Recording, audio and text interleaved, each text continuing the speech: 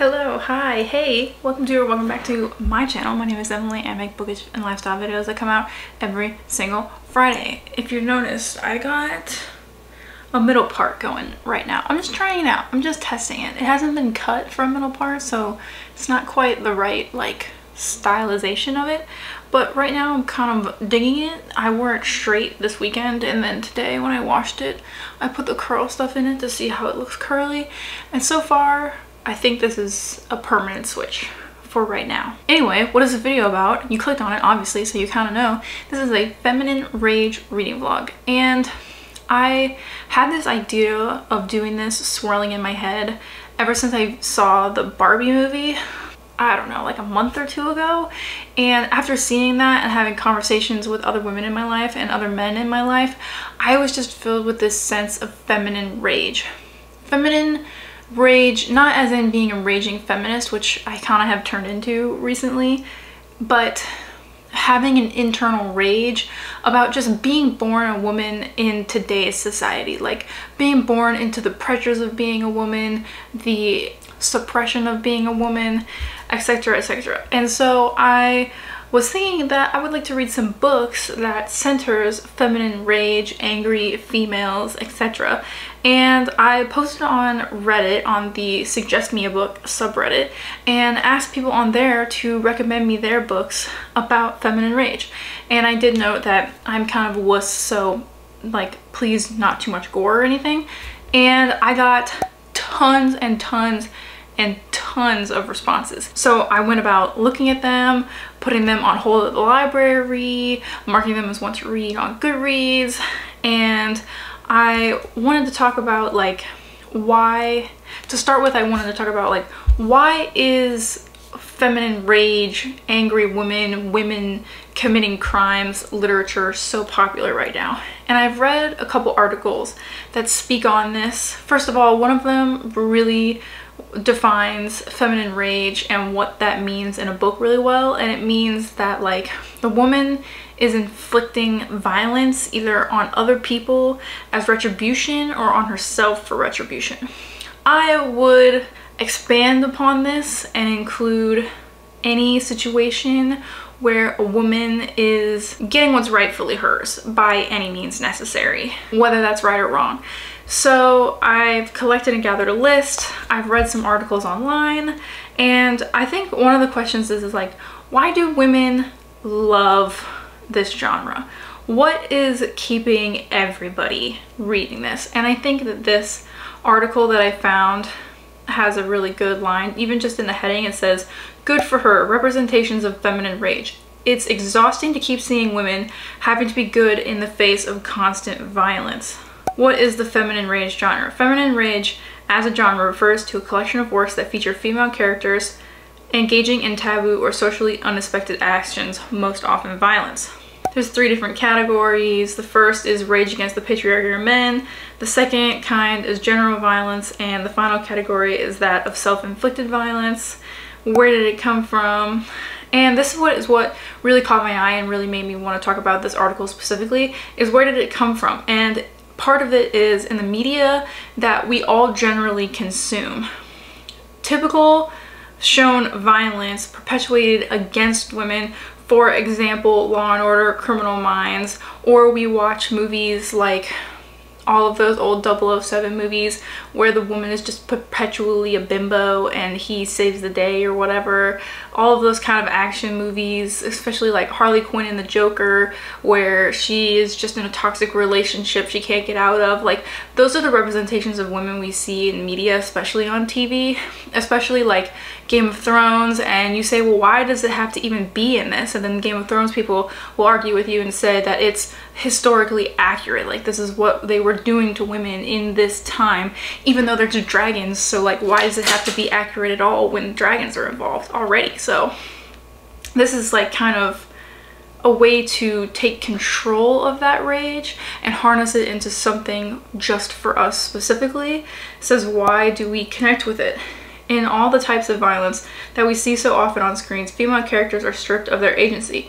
When we are so used to seeing representations of women as helpless and harmed, seeing women take control of violence can prompt a cathartic experience.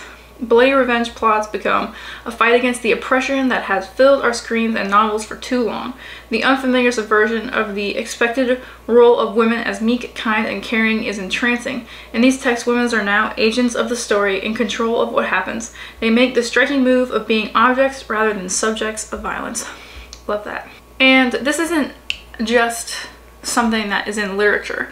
This other article in Frieze, Frieze talks about how she, the author of this article, is seeing this even in real life. She says that she saw a woman at a local bakery wearing a t-shirt that said, rude bitches change the world. She was buying a loaf of rye sourdough and an oat milk latte, and her manner was notably pleasant.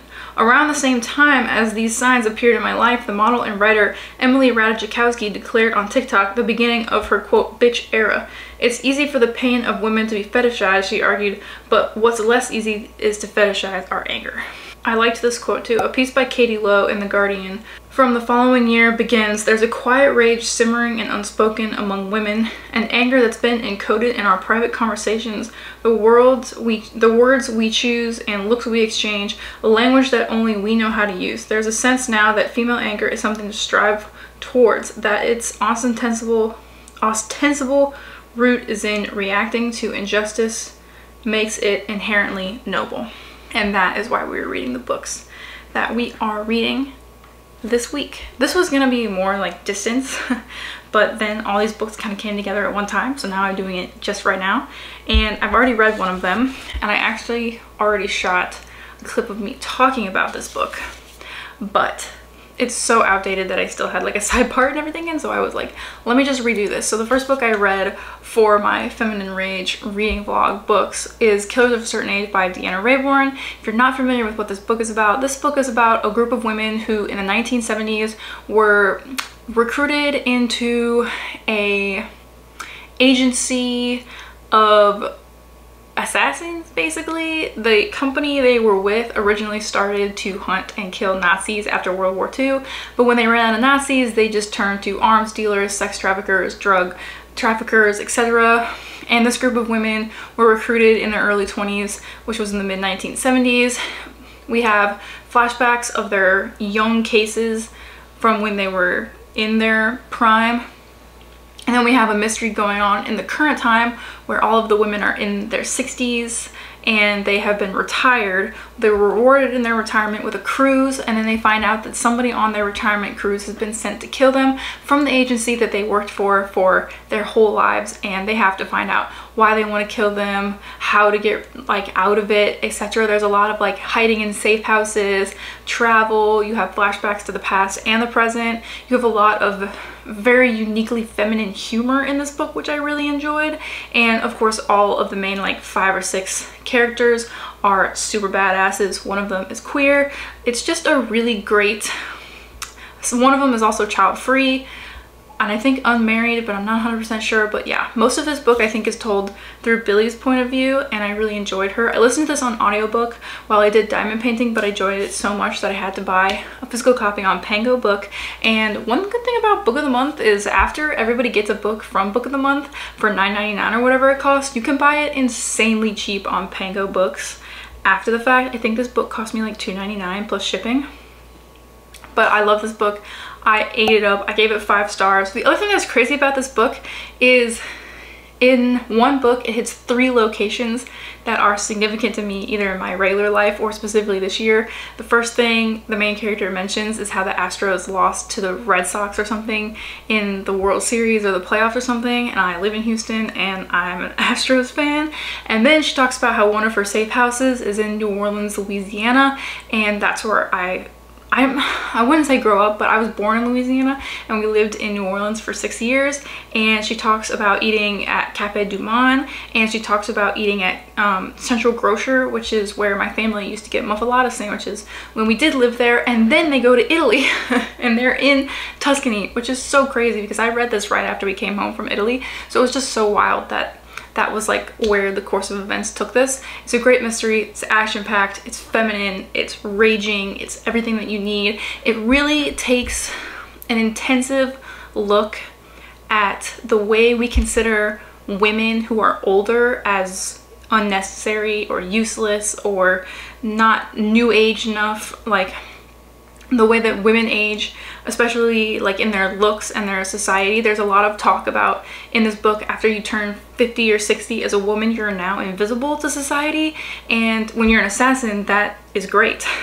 It allows you to do a lot of things move swiftly without being noticed and that's what they take advantage of and it's really excellent commentary on being a woman being older having had power you know what I mean? Like that kind of thing. So I really enjoyed this book. I gave it five stars. I will give it to my mom to read but I wanted to do this little clip first and then I wanted to talk about a book that I read about 35% of and then I did DNF it. So I didn't include it in this but it's called The Bandit Queen. And basically this is a book about a woman in India whose husband died, but everybody thinks she killed him and she has decided that she's okay with people thinking that because they don't respect her because she never had kids, so it's fine that they fear her instead. It kind of evens her out on the scale. And now other women are coming to her asking her to help them take care of their abusive husbands. I read 35% of this book and it kind of just felt like it was really dragging on. Even though the premise was really interesting, there was just too much backstory of the main character. She spent a lot of time in her inner monologue thinking and talking and discussing about things that had happened in the past, like her childhood friends and stuff. And then I felt like I had listened to it forever and when I checked how long I had left, I still had like eight hours in the audiobook and I blew through this audiobook so quickly. Like I was literally like dying to listen to it. And so I feel like with audiobooks, if I'm not like wanting to sit down and listen or like reaching for my AirPods to walk the dog or do the dishes, then I just need to move on. But today, I am going to start the next book for this series in Feminine Anger, which is Big Swiss by Jen Bagan, Began, Big, like Wisconsin? I don't know. But this is basically from my understanding, and I read like five pages of this last night before I went to bed, so I have like a tiny bit of context. This book is told from the point of view of our female main character who is transcribing a male therapist's conversations and therapy sessions with patients so that he can use that information transcribed to write a novel, I think but she loves the drama of listening to other people's problems basically. She's a really fucked up main character. I was reading reviews of this last night because i was like this is so odd. Like the writing style of it is very like stream of conscious. Like it's kind of all over the place.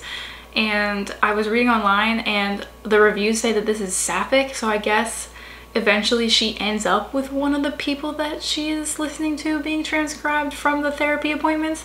I don't know, but I heard that this main character is unhinged and just does whatever she wants and so I'm gonna continue on with this on my Kindle in ebook form from the library. And then the other book that I had checked out to me that I'm gonna read for this and both Big Swiss and this book which is called Vladimir were suggested to me on the Reddit post about feminine rage and I do have an audiobook of that and all I know about this book is basically this like older woman professor goes after like one of her hot younger students, I think. Apparently she does whatever she wants. So that was recommended to me. So I will be listening to that on audiobook while I walk or clean or diamond paint or whatever. And I'll be reading Big Swiss in the meantime on my ebook and my Kindle. And when I get farther into either of these books, I'll come back and update you. And then at the end of this video, remind me I have two book recommendations that I've already read previously, way before this video, that I want to give you if you are looking for more feminine rage books to read. So I'll check in with you when I've gotten farther into Big Swiss or Vladimir.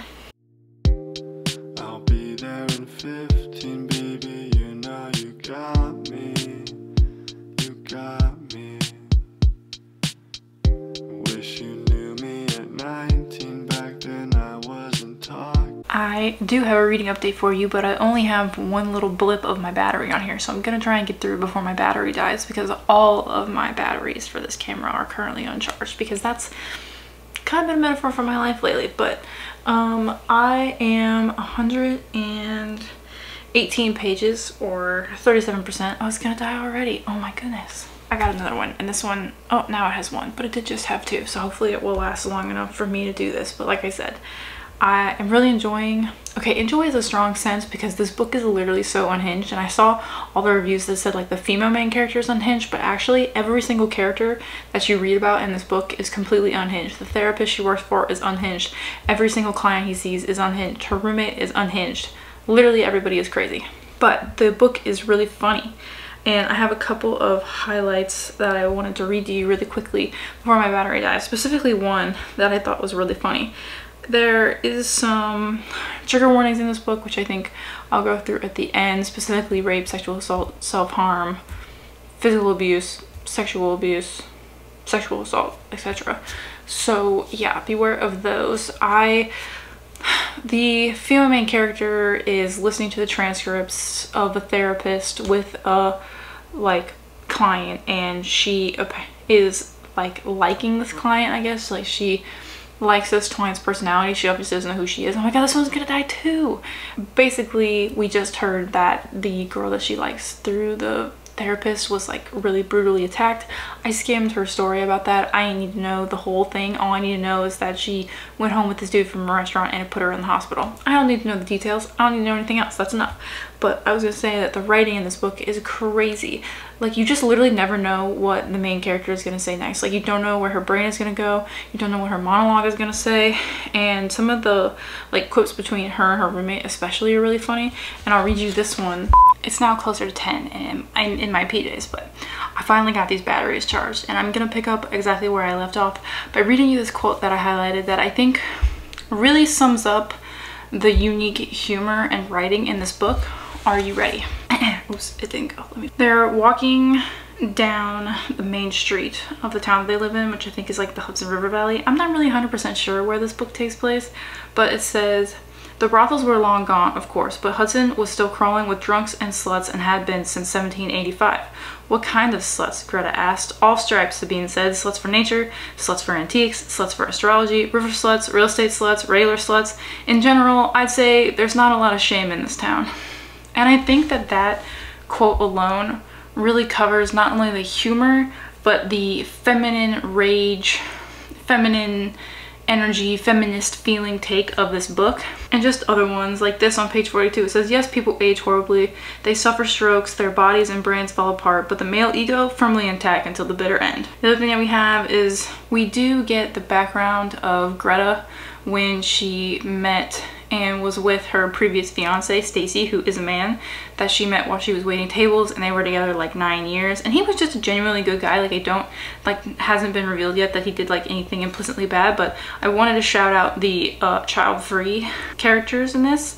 Stacy laughed. I'm kidding. No kids for me. Not ever. I hope you're okay with that and in her own monologue she thinks music to her ears. It's told in third person. So that didn't really translate correctly but. And the other thing too is the main character who we haven't met yet but we only know through the transcriptions of the therapy sessions that she has with the therapist that Greta is paid to translate. I hope I'm not repeating that too much because I don't remember what I said previously. She says that part of the reason she's seeing this therapist who is supposed to be a sex and relationship therapist is because she's never had the big O with a partner or by herself and she is saying she's a gynecologist in real life also and so she's like, a lot of women have pain during sex and men think that they just are like lazy or like not interested or whatever, but it's really because it can be painful for women because of things like endometriosis. And the sex therapist doesn't even know what endometriosis is. And she is kind of shocked that he doesn't know and kind of gives it to him for not knowing. She's like, you're a sex therapist and you don't know what endometriosis is? Aren't like a lot of your clients women and they don't tell you that they have painful intercourse and she says and you're probably suggesting that they're not in touch with their bodies or that they should try chanting and Greta is listening to this her telling off the therapist and Greta to herself is chanting big Swiss, big Swiss, big Swiss, which is what she calls the female main character who we know only by her initials. And then the um, big the girl she's calling Big Swiss, who I think is the love interest in this book, says if endometriosis affected straight men and their penises, never mind, you'd never hear the end of it. Like, on the same topic, she said, Well, chances are the women are in, in terrible pain or just average pain. Most women don't say anything though because we're conditioned to suffer and to make men feel good about themselves. And I just feel like the angry feminine overtones in this book are not beating you over the head, in my opinion. They are finding, it's not like two women sitting down in a coffee shop monologuing about how much they hate their husbands. It's very much like woven into the life and like dialogue between characters and also in Greta, the main character's inner thoughts. And she is nuts, sure, but I find myself oddly relating to her sometimes. Like, she talks about how her dog likes long and intense eye contact, and I say that about Delta all the time. Like, she just wants to have eye contact with you. And I don't know, her and I kind of seem to agree on a lot of things, except I've never stolen anything and I'm not a liar. I am the opposite of a liar. I am painfully truthful, so that's the update I have for tonight. I'm gonna go read a little bit more before bed, but there is a lot of talk of like violence and stuff in this book, so it might be a book that I have to switch away from and read a couple pages of something else before I go to bed, which means it'll take me longer to finish this book. But I'm gonna be gone this weekend, so I'm trying my best to really wrap it up for you guys, but it's not easy, okay?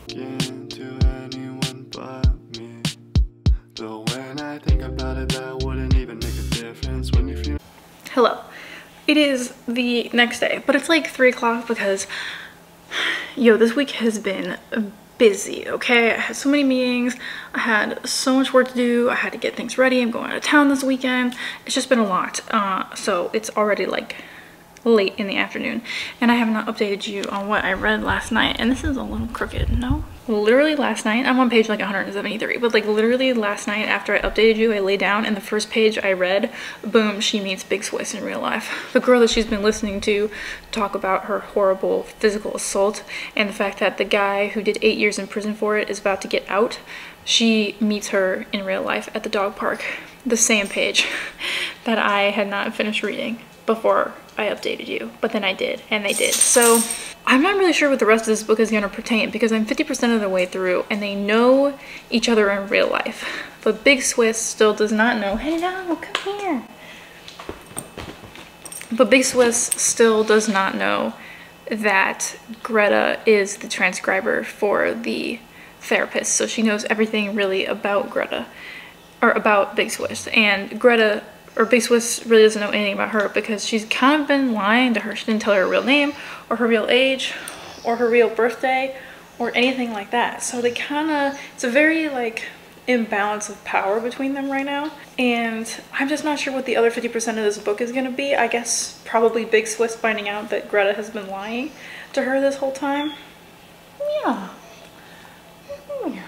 Probably that she's going to find out that Big Swiss has been or Greta has been lying to her the whole time about who she is, what she does for a living, etc, etc. They did do dirty last night when I was reading and to be honest it's probably one of the worst sex scenes I've read in my entire life which I know is not the point of this book so I'm not really sure what I expected but the I can't even call it spice because it was not at all spicy. Where are you going? Okay, bye. She wants the best spot because nobody is out here. It was probably the worst sex scene I've ever read. Did not enjoy it. There was nothing to like about it. It was very clinical. It was very like, I don't know. It just wasn't entertaining at all. And definitely, I mean, obviously this isn't as a romance book. It's about an unhinged woman and her violence, which I'm here for. But the addition of the sexual relationship between them is an odd one for the way this book has otherwise been going is all I'm trying to say. But I'm done for the day. So I'm about to dig into this and I will check in with you probably at the 75% mark. I know I said I was gonna do the other book on audiobook. I just have not had any time to listen to an audiobook, but I promise that before this video is over, I will have another book to talk about. Regardless if it's Vladimir on audio or something different, I will include a third book and two book recommendations in this video. So I'll check in with you later on. Did I show this to you? My Kindle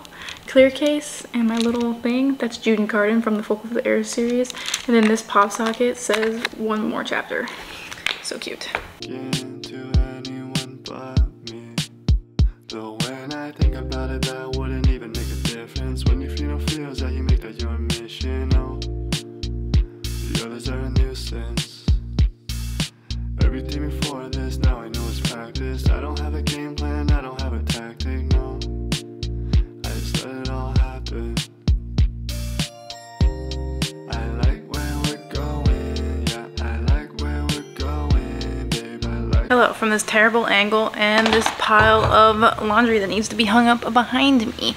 But I have a reading update for you very quickly.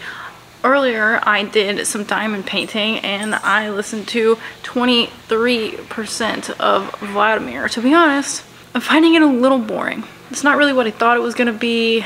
I thought it was a professor-student thing, but apparently he's an assistant professor too and their age gap is like 10 years. But what really is disturbing me about this book specifically is that she's married. Not that it's a big deal they have an open relationship but she's in her 50s so it kind of feels like a okay boomer situation where like he was messing around with like in his 40s like people in their 20s and it was always women and like seven of them like came against him and he got booted from the English department at the college that they both work at and she's like kind of fine with it. She's like these women should take more of a active role in this and not see themselves as victims. And I'm like this is such a bizarre take on this. Like, I'm not really sure if anything could like make up for this woman's view of like who I'm thinking is supposed to be either young, young millennials, old Gen Zs, Zoomers, etc. Like, we are a generation of Me Too, of, you know, like snowflakes as some might call us and they she kind of hints at like oh they all have to say like you can't say anything anymore in class but it's good it's good it's good but like they're just convincing themselves of that. So so far like not really super enjoying it but I am on page 202 of Big Swiss and again I have no idea where this book is going. What I would really love to happen is that we get eventually some kind of like epilogue chapter from Big Swiss herself that gives us more insight to what was going on. What I would really, really hate to happen, and if this happened, I would give it legitimately one star, is if Greta unalives herself at any point in this book or attempts to. I would legitimately give this book one star if that's what happened. And why does every book with unhinged women revolve around self-harm and unaliving yourself? Like why is that? Why do women who are is it is it because they're unhinged that they want to unalive themselves or is it because of the way they are treated that makes them? Is it coming from inside them or is it coming from the outside? That's what's hard. The other thing that's hard is a couple times the things that they say, like I was talking about how her dog makes eye contact, I feel that way about my dog. And then the girl in the Vladimir book is like, I never really imagined myself to be that small of a person. Like when I look at my husband, I imagine that we're both the same size. But then I realized that I am actually much smaller than he is. And I had that exact same experience. Nick and I had been together five years when we got engaged and we took some engagement photos. And that is the first time I ever realized how much smaller I am than him him in size. And I feel like we're equals. I feel like I look him in the eye, except when we hug and he puts his chin on my head. Then I don't. But for the most part, when I walk around the world, if you're like only 6'1 and not taller than that, because that's how tall Nick is, I see, I see that we see eye to eye. And maybe that is just like, what do they call it? Like little dog syndrome when the little like when a chihuahua thinks they're a german shepherd like is that what i have is that what this woman has i don't know that's a lot of rambling but it's football season now, so football is on the TV, so I'm gonna read and listen to football in the background because it's the most wonderful time of the year.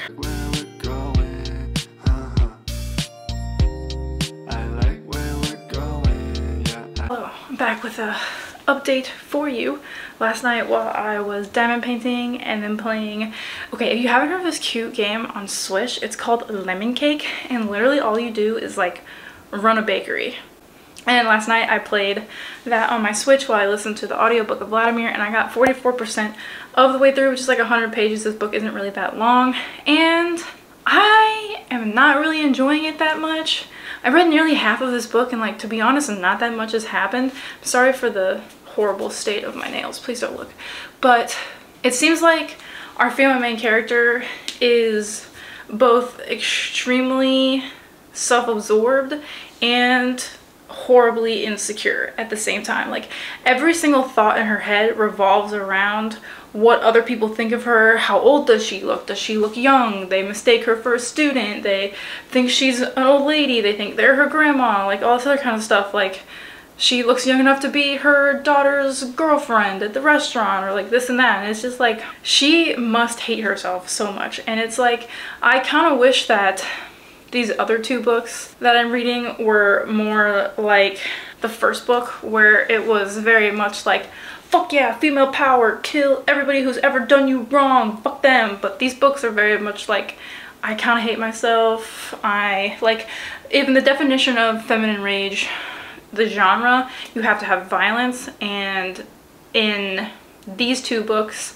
the violence really is against the character's own selves. And I prefer it when the female's rage emanates as violence against other people. So it's not as fun. And I don't know. I don't know where this is going. I kind of read like a couple spoilers on Goodreads just because I was like, does anything happen in this book? And then I realized that this book was kind of like, had a lot of hype to it when it came out and it was on like book of the month and everybody was talking about it but since then I've heard basically nothing about it.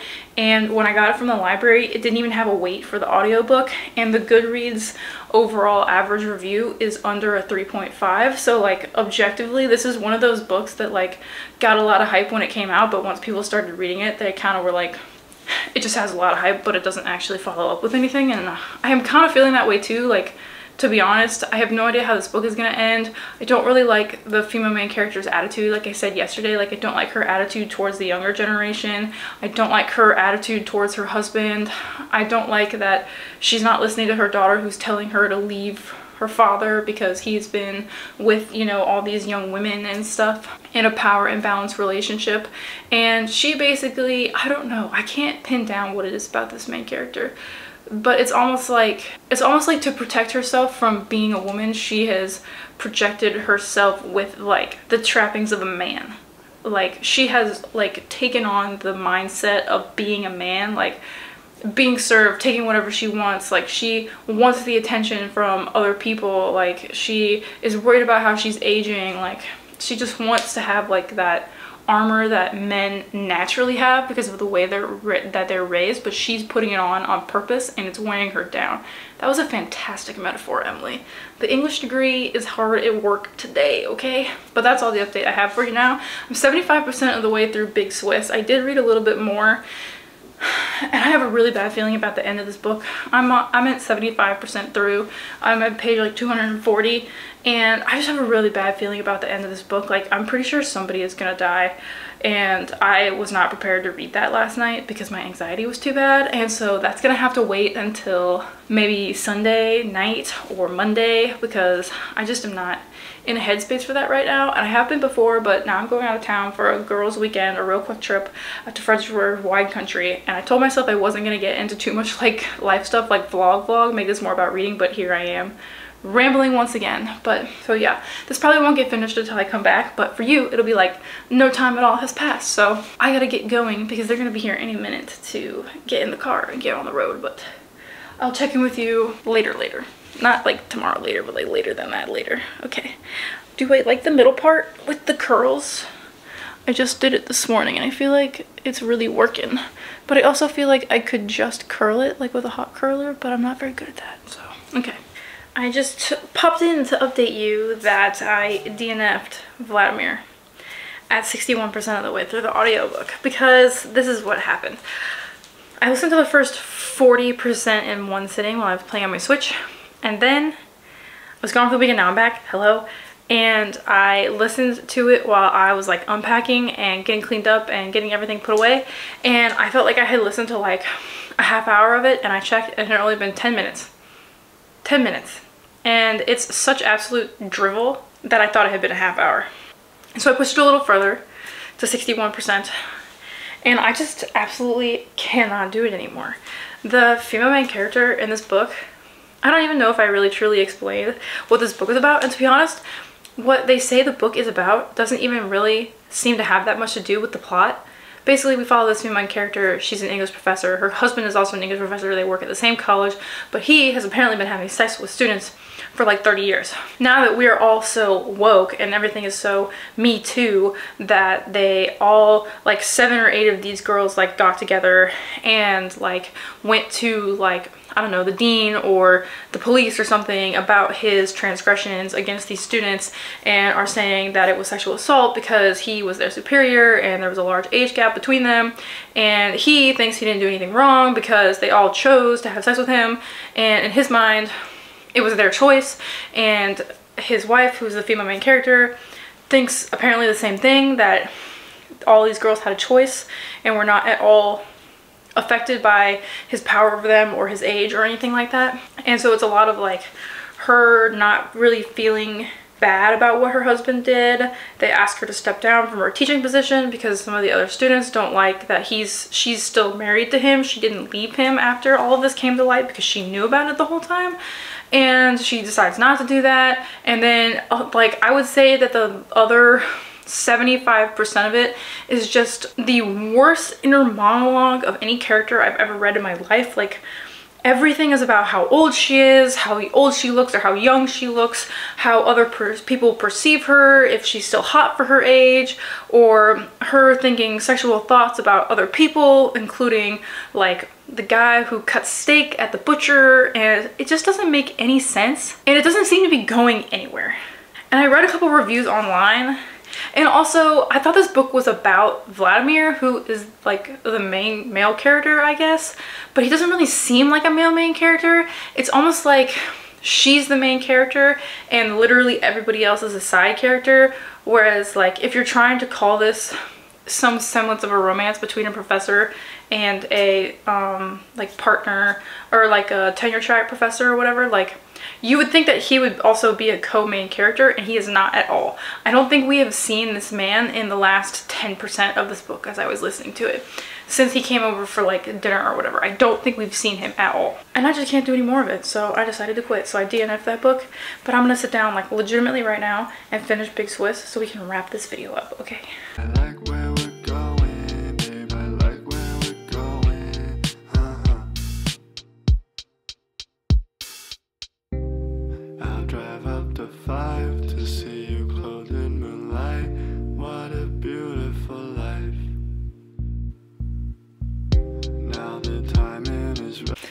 I just finished Big Swiss by Jen Beagin, I'm assuming is how you say that last name, but I really enjoyed the ending of this book. It kind of had me, like, I really, really thought that there was a chance that this book ended with Greta, the main character, unaliving herself, but I appreciated that. I feel like, I feel like the lesson, I'm gonna put this down while I talk. I feel like the lesson in this book is one of healing which I like because I think that the one in Killers of a Certain Age has feminine rage and they take it out on other people and everything is solved but in order to do that they have to remove obstacles from their way and there it's all outside of themselves.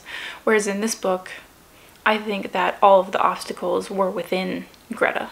They were all within herself and it was it's it's the way that you take in things that have happened to you and the way that it blocks certain things for you. And the sheer amount of energy and willpower it takes to be willing to remove those blockages from yourself and move into something different, move into something healed, move into something that's a new possibility. And I really appreciate that I kind of feel that that's how this book ends. And I think I'm gonna give it four stars, which is pretty good. I think. So I had two good books for this and one DNF. And if I look at, mm, I mean, I guess I can't really compare Vladimir to this book since I didn't finish it, but I don't think that the female main character in Vladimir is gonna learn a lesson. I don't think she's gonna find healing. I don't think she's gonna leave her husband. I don't think that there is any change coming for her in that novel. I could be wrong because I didn't finish it, but I don't think it's worth my time to find out. I would say that I enjoyed Killers of a Certain Age and Big Swiss equally, which is reflected, I think, in their four star ratings for both of these books. I think I enjoyed them equally, but I think I enjoyed them differently. They are definitely not the same kind of feminine rage books because like I said, the Killers of a Certain Age it's a, it's them against people which I do like um, I think that's the feminine rage that I like it's like it's like all of these women you know like arm in arm together against other people who are trying to do them wrong and they come through the other side of it and it's feminist and it's witty and it's bantery and it's action packed and then there's a book like Big Swiss where the feminine rage, the violence that has to be involved in that comes in two different ways. It comes from Greta against herself, and it comes from a man against the woman who's Big Swiss, who beat her within an inch of her life. So you kind of see like it's a reflection of both of the violence that women have in reality. We have violence against ourselves because of the way other people inflict themselves upon us. This is all based off of Greta's mom. And then we also have women who are have violence inflicted upon them by other people, specifically usually men. And I think a lot of it you can see Greta and Big Swiss, they're pitting their traumas and their violences against each other. But at the end of the day, you realize that they're equal. Greta was wrong for snooping on her transcribed person because it was wrong of Greta to, to find her in real life even though that was an accident but then pursue her in real life that's fucked up right and then it was wrong of Big Swiss to cheat on her husband with Greta that's wrong too those are not any more or less bad. They're equally bad. Just like Greta is not more traumatized than Big Swiss is. They are equally traumatized in different ways. And so I think that Big Swiss is a much deeper look at feminist rage than Killers of a Certain Age are. And I'm glad that I started this video with Killers of a Certain Age because I think it really was a gateway into the genre as a whole as more of a light-hearted, easy to read, easy to enjoy book to prepare you to be able to go deeper in a book like Big Swiss, which I did enjoy and gave four stars. So for this book, I'm going to count the 61% that I read of Vladimir just for the page count for this video. So to get them all together, I read Killers of a Certain Age, which was 368 pages. And then I read Big Swiss, which is 336 pages. And then I read 152 pages of Vladimir, even though I DNF'd it, but I'm gonna keep that because it kind of seems fair. So altogether, I read, I didn't count the first DNF because I never really even talked about it on here like I did with the other ones, so I just am gonna, you know, throw that to the side or whatever. So in total, I read 856 pages of angry feminist women for this video. And I am happy with that even though this took me way longer than I anticipated especially because I was like waiting for books to come through. I wanted to listen to them on audiobook.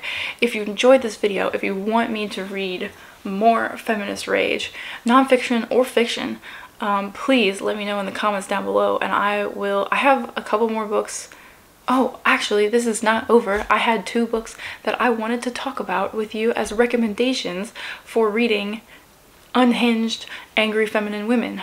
And the first book I have for that recommendation is Iron Widow. And this book is about a young girl who, in the world that they live in, they have these men who fight in their body. They put their bodies in these giant robots and they use them to fight the bad guys.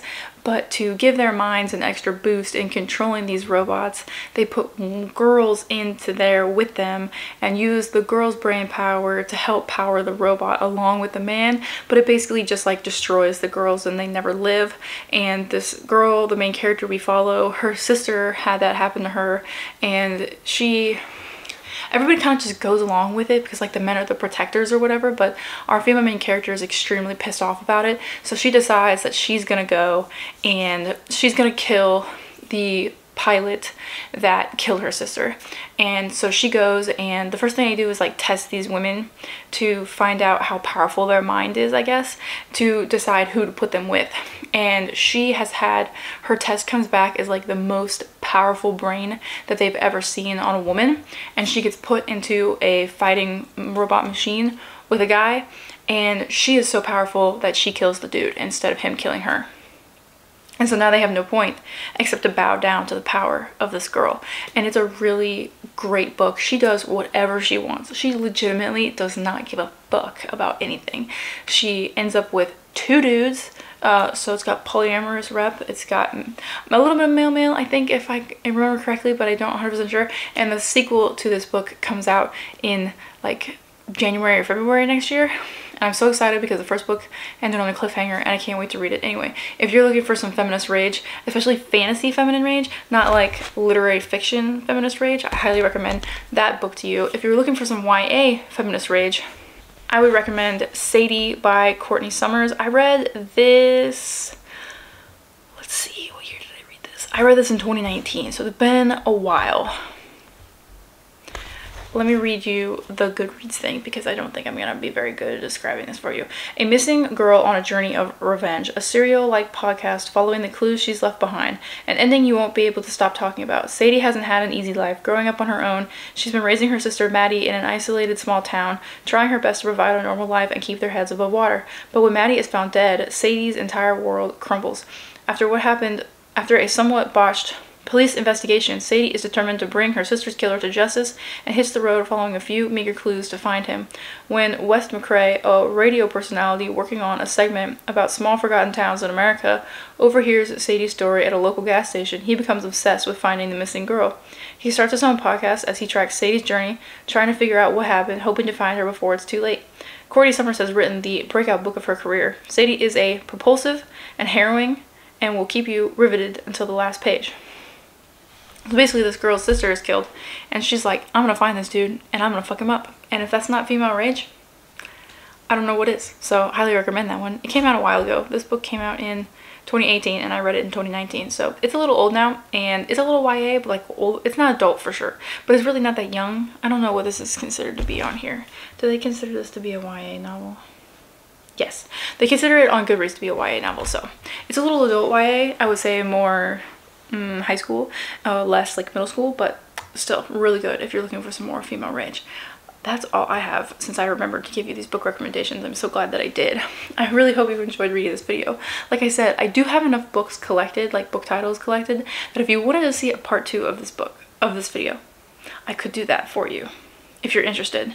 I probably need a break for now, so it won't be like right away because that's a lot of feminine rage to read um, back to back to back really. So I am gonna head out and I will see you again in my next video very soon.